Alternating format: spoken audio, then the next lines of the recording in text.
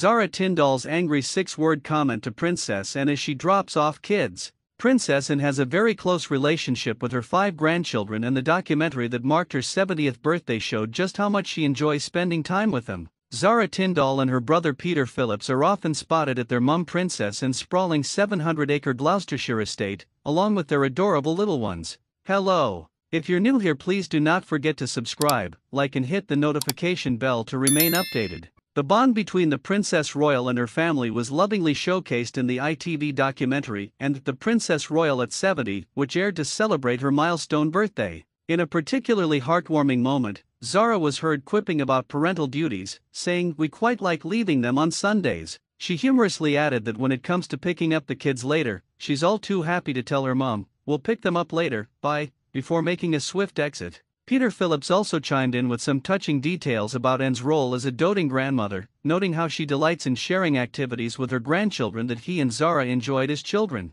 He shared, she loves seeing them ride, she loves having them round for Sunday lunches and taking them for walks, doing all the things that we would do as kids. With both Zara and Peter residing within Gatcombe Park, they're always just a stone's throw away from some quality time with their beloved grandma. Despite being the late Queen's oldest grandchildren, neither Zara nor Peter carry royal titles, a decision made by Princess Anne and their father, Captain Mark Phillips. Peter opened up on this choice during the documentary, shedding light on the down to earth upbringing they experienced.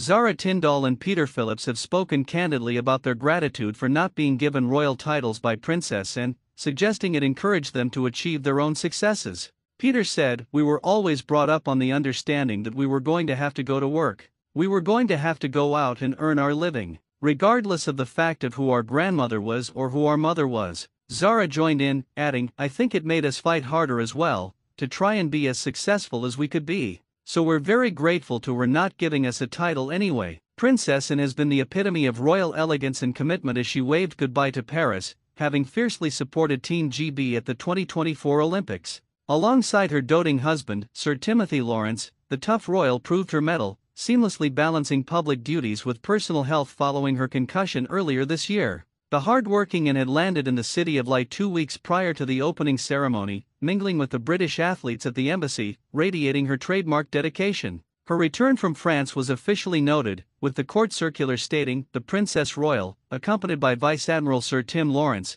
this afternoon arrived at Heathrow Airport, London, from France. Thanks for watching till the end.